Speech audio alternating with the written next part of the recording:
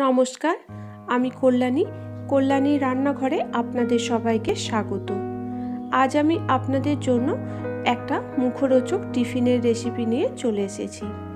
আর রেসিপিটি হলো ক্রিসপি পনির ফ্রাই এটা সম্পূর্ণ একটা নিরামিষ রেসিপি আর গরম গরম খেতেও অসাধারণ।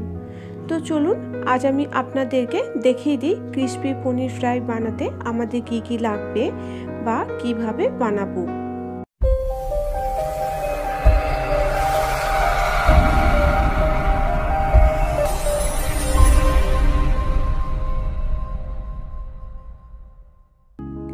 রেসিপিটি বানানোর জন্য এখানে আমি ব্যবহার করছি এক চামচ পুদিনা পাতা বাটা, এক চামচ ধনে পাতা বাটা, হাফ চামচ গোলমরিচের গুঁড়ো, টেস্ট অনুযায়ী নুন, হাফ চামচ লঙ্কার গুঁড়ো আর আছে বেশ কিছু পনির।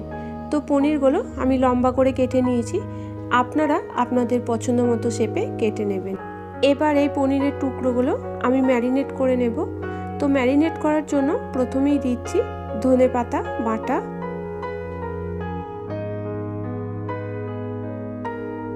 পুদিনা পাতা, বাটা।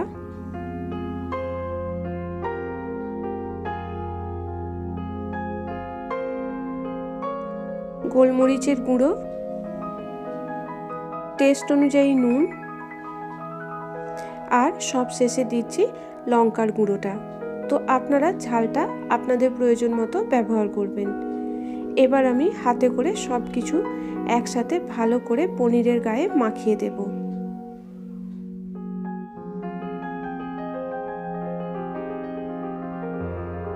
মাখানো হয়ে গেছে, তো এটা এখন আমি আধ ঘণ্টার জন্য রেখে দিচ্ছি।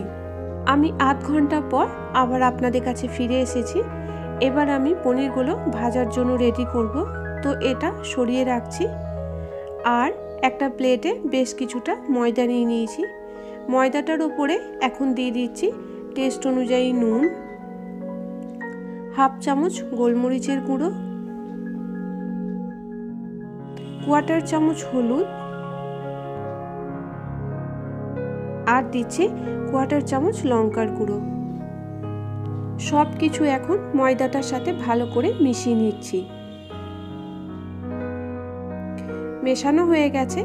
এবার একটা করে পনিরের টুকরো নিয়ে ময়দার মধ্যে গড়িয়ে নিয়ে জলের মধ্যে একবার ডুবিয়ে নেব আর ডুবিয়ে নেওয়ার সাথে সাথে আবারও ময়দাটার ওপর গড়িয়ে নেব। দুবার করে করলে কোটিংটা বেশ শক্ত হবে আর ভাজার পর বেশ মচমচে হবে। তো এখন একটা হয়ে গেছে। আমি রেখে দিলাম। আরও একটা একই রকমভাবে করে দেখাচ্ছি। প্রথমে শুকনো ময়দা মাখিয়ে নিয়ে জলের মধ্যে ডুবিয়ে নেওয়ার সাথে সাথে আবারও শুকনো ময়দাটা মাখিয়ে নিচ্ছি। দেখুন, এটাও হয়ে গেছে। আমি একই রকমভাবে সব কটাই তৈরি করে নিচ্ছি। সব কটাই তৈরি করে নিয়ে আমি ফিরে এসেছি। এবার এগুলো আমি ভাজবো। তো ভাজার জন্য দেখুন, প্যানের মধ্যে তেল অলরেডি আমি গরম করতে বসিয়ে দিয়েছি। তো তেলটা গরম হয়ে গেছে। এখন আমি পনিরের টুকরোগুলো দিয়ে দিচ্ছি আর উল্টে পাল্টে গোল্ডেন কালার করে ভেজে নিচ্ছি।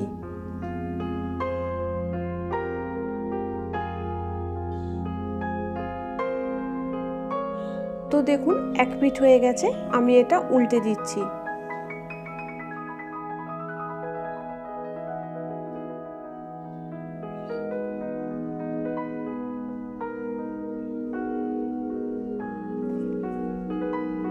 এখন দেখুন দু পিঠি সুন্দর ভাজা হয়ে গেছে। তো এগুলো তেল ঝরিয়ে আমি তুলে নিচ্ছি।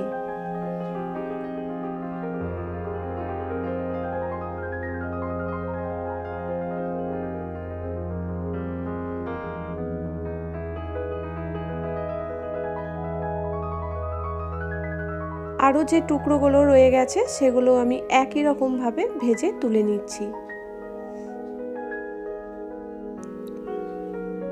পনিরের টুকরোগুলো আমি সব ভেজে নিয়ে আপনাদের কাছে ফিরে এসেছি। ক্রিসপি পনির ফ্রাই এখন আমাদের রেডি।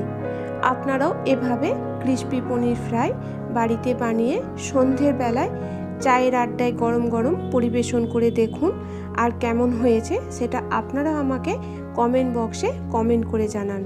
আর একটা লাইক বা শেয়ার করতে ভুলবেন না।